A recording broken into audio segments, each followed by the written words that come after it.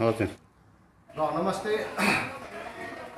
विशेष आज हामी जोइन्ट फोरमको माध्यमबाट डिएम महोदयकोमा हाम्रो भेटघाट थियो तर आज अकस्मात उहाँको आफ्नो प्रोग्रामले गर्दामा उहाँ बाहिर जानु भएर चाहिँ यसलाई एडिएमज्यूसँग हाम्रो मेमोरेन्डम दिने कार्यक्रम भयो। तर विशेष चाहिँ यो मेमोरेन्डम के कारणले दिनु पऱ्यो भन्दाखेरि चाहिँ आज लङभ्यूको जुन आन्दोलन यथावत नै रहेको छ। त्यहाँको बन्द कमान अहिले पनि बन्द नै छ। र जुन उहाँहरू रिले अनसनमा बस्नु भएको थियो त्यो रिले अनसन चाहिँ एउटा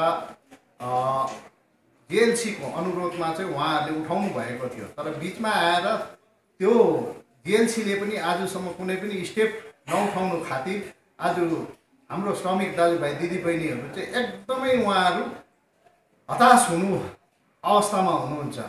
र उहाँको लागि चाहिँ अब केही न केही गर्नुपर्छ भन्दा आज जोइन्ट फोरम चाहिँ हाम्रो प्लेटफर्ममा आएर चाहिँ हामीले यो निकायहरूलाई सम्बन्धित जति पनि निकायहरू छ चिठी लेख्ने कामहरू गर्दैछौँ। आज जिएलसीमा पनि एकैसाथ गर्दैछौँ। एएलसी खरसाङलाई पनि दिने काम भयो र हाम्रो एटिएम महोदयलाई पनि हामीले यो चिठीहरू दिएको छौँ। र हामी चाहिँ यो गार्डनलाई खोल्ने पक्षमा छौँ। र कतिपय साथीहरू जिटिए टूबाट चाहिँ के भन्दैछ भनेदेखि उहाँहरूले कोअपरेटिभ गरेर चलाउने।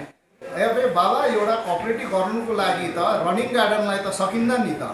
फेरि कोअपरेटिभ गर्छ भनेदेखि आज कतिवटा गार्डनहरू बन्द भएर गरेको बसेको चार साल तिन साल भइरहेको छ। त्यो गार्डनहरूलाई तपाईँहरूले किन हेर्नुहुन्न? कोअपरेटिभ गरेर गर्नुहुन्छ भनेदेखि तपाईँहरूले त्यो बन्द गार्डनहरूलाई गर्नुहोस् न कि आज सब्सेन्सन अफ वर्क मात्रै भएको तालाबन्दी भएको छैन त्यो गार्डन त्यसलाई फेरि तपाईँहरूले एउटा राजनीतिकरण गरेर कोअपरेटिभ गरेर चलाउँछु भन्ने एउटा अलिकति अनुचित कार्यहरू हुँदाखेरि चाहिँ हामी आज यो तरिकाले काममा निस्किनु परेको। र आज एउटा रनिङ गार्डनलाई कोअपरेटिभ गर्दाखेरि चाहिँ उसको जुन अगाडि पिएफहरू छ पेन्सन छ यो आज कुन हालतमा पुगेको छ? अन्य गार्डनहरू जो बन्द गार्डनहरू छ। आज हामीले कपरेट गरेर कोअपरेटिभको तरिकाले चलायो भनेदेखि के त्यो प्रिभियस डेजको पैसाहरू दिनु सक्छ होला? र जो रनिङ छ त्यसलाई हामी कसरी हुन्छ? मालिकलाई घुँडा टेकाउने काम गर्नुपर्ने हो युनियनहरूले। तपाईँहरूले त्यो तरिकाले भ्रममा राखेर श्रमिकहरूलाई आक्रोशित गराउनु भयो भने भोलिको दिनमा त्यो श्रमिकहरूले केही पनि बदमासी काम भयो भने त्यसमा जिम्मेवारी को हुन्छ? र हामी जोइन्ट फोरम चाहिँ पहाडको जति पनि लेबर युनियनहरू छौँ हामी खोलाउने पक्षमा छौँ न कि बन्द गर्ने पक्षमा छौँ। र मेरो यो छोटो जो तपाईँहरूलाई जानकारी थियो यही समाप्त गर्दै अनि साथीहरूले तपाईँहरूलाई बताउनु हुनेछ। धन्यवाद। आज हामी लङ्यु टी स्टेटलाई अति शीघ्र खोल्नुपर्छ।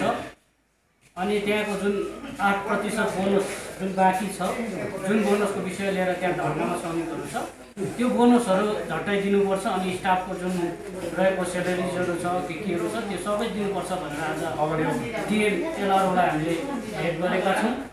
र हामीलाई आशा छ डिएम एलआरओ मार्फत एलसी जिएलसीमा झट्टै एउटा इन्फर्मेसन जान्छ अनि हामीले भनेको छौँ झट्टभन्दा झट्ट तपाईँहरूले उक्त विषयलाई लिएर चिठी काटिदिनुपर्छ अनि बैठकहरू बोलाउनुपर्छ भनेर आज हामीले रिक्वेस्ट गरेका छौँ।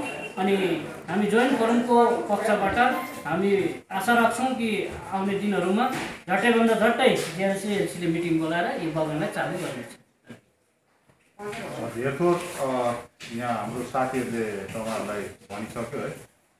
आज हामी यहाँ डिस्ट्रिक्ट मेजिस्ट्रेटकोमा चाहिँ उहाँले चाहिँ एउटा डाइरेक्सन दियोस् जोइन्ट लेबर कमिसनरलाई विशेष सिलगढीको।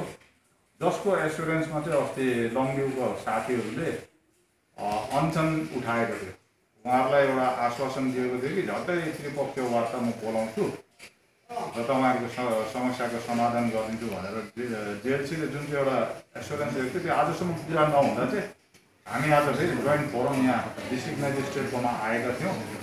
तर उहाँको एब्सेन्समा हामी एटिएम एलआरलाई यो एउटा डेपुटेसन दिइराखेर अब उहाँले हामीलाई एसुरेन्स दिएको छ जिएलसीलाई म त्यो चिठी फरवर्ड गर्छु भनेर तल साथीहरूले पनि जिएलसीलाई भेट्दैछ।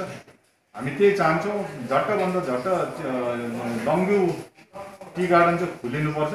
अनि सरकारले यसमा हस्तक्षेप गर्नुपर्छ। नत्र यतिकै अब यो अलिअलि भए पनि दसैँ तिहार अब मनाउँछ हाम्रो मान्छेले है। र यस्तो अवस्थामा अब त्यहाँनिर रोजहरू दिएन है वेजेस दिएन लास्ट इयरको एट पर्सेन्ट बोनस दिएन अरू पुरानो एरिया झन्डै सत्तर लाखभन्दा बेसी रहेछ। अन्त त्यसैले गर्दाखेरि मालिकहरूलाई चाहिँ स्पट फ्री जानु चाहिँ दिनु हुँदैन हाम्रो भनाइ त्यति हो।